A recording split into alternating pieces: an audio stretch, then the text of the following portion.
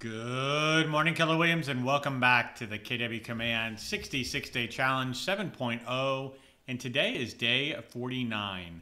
So, today we're actually going to dive into agent site page creation. So, how to add additional pages onto your agent site, and we're going to focus on testimonials. So, I'm going to show you how to create a testimonial capture page and also a testimonial display page. So let's do that by going into our KW consumer applet here on the bottom left. And by default, we're always taken into the agent site pages tab. And today we want to create two new pages that we're going to show on our agent site. So we'll walk you through what that process looks like. So we're going to create a new page and in doing so, we'll click that button at the top right hand corner. We are asked, do we want to create a new page on our agent site or as a standalone landing page for lead generation. We're going to do this on a future challenge, but today we're going to focus on our agent site and creating two new sub pages. So let's click on create page. And a lot of this is going to seem a little bit familiar, both from a mixture of what we did inside of designs and what we did when we built out our email template design um, and our, our social template as well. So First things first, the very top left, you can see the ability to edit the name of the agent site page. Highly recommend you do that such that you then know which site page is what. So today we're going to talk about creating a testimonial capture page. so we'll just call it that for right now. As you come down, you can see the ability to preview this page on a desktop, a tablet, and also a mobile device, very similar to when we were creating our email design. On the right hand side, you can see you have the ability to undo and redo, or then preview from there. And then finally, on the top right hand side, you have what are called widgets. These are basically pre-made mini templates, if you will, that will allow you to build out your capture page or any agent site pages much easier than having to go through and add individual components as well. So today we're going to talk about actually capturing testimonials.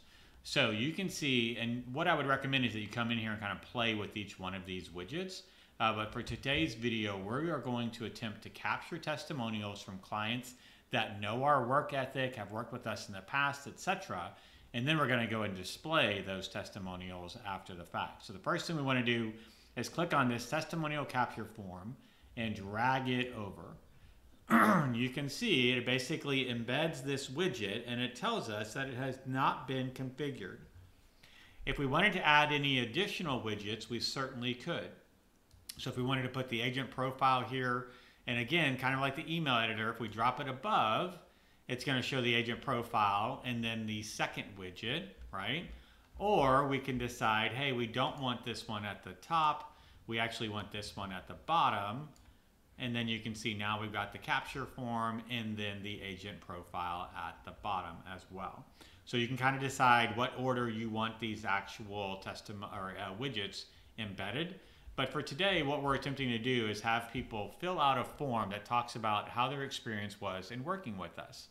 So now that we've dropped in this actual widget, we're going to come down to the bottom of the screen where it says configure widgets. Now the same will be true regardless of what widget you put in. But right now we just have the two, the testimonial capture form and the agent profile. So if we click on configure widgets, the first one is the testimonial capture. It's going to show team name as Royals Realtors definitely recommend that if you are a team, put your team name. If you're not a team, just put your personal name. Do not leave Royal Realtors in there and do not leave it blank. Headline text, you can see is going to show up here at the top and you have 60 characters. Um, please share your experience experience in working with Marty Miller. Look at that. Just barely fit, right? So I can put that in as the actual headline text. Then you can see the description, and they've already put this in here. So if you're good with that, then you can just keep moving forward. Um, if you want to change it, you certainly can.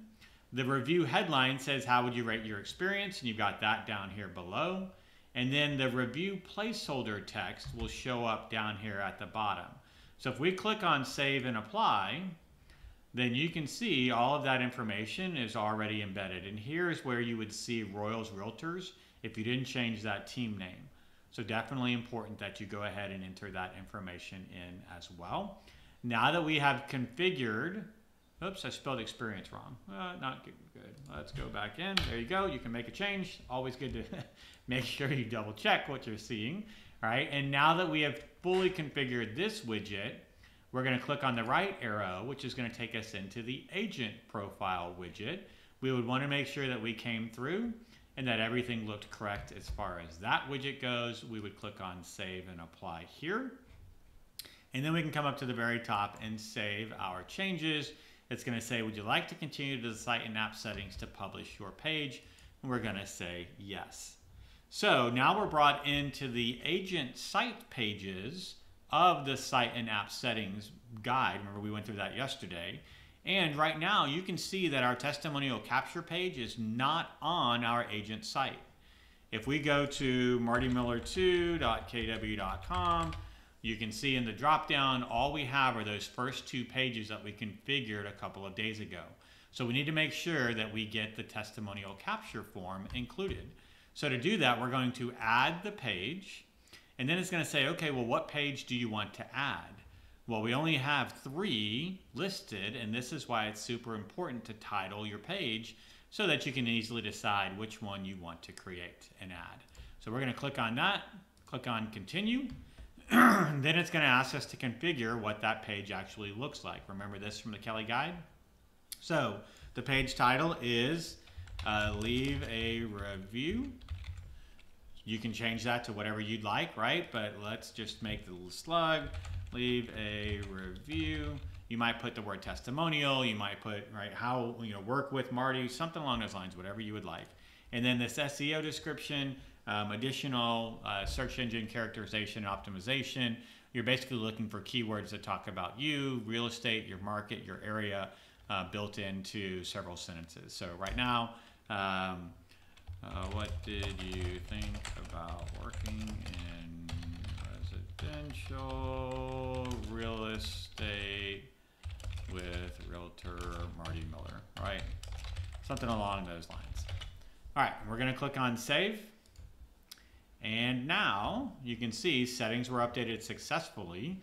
If we come back to our page and give it a quick refresh, we should then see this page now in our dropdown. And there it is. And if we click on leave a review, we could send this actual link to consumers that we have worked with and they can begin to fill out this form such that then we can go in and we're going to do this tomorrow. We're actually going to pull up testimonials that people have left for us and dim or display those on our agent site.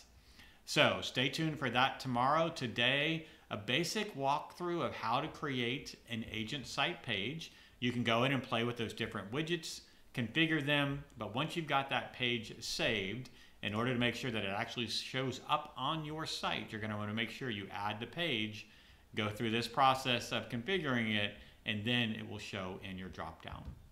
So stay tuned tomorrow. We're going to go get those testimonials that people have left for us and actually display them on our agent site. Look forward to talking to you then.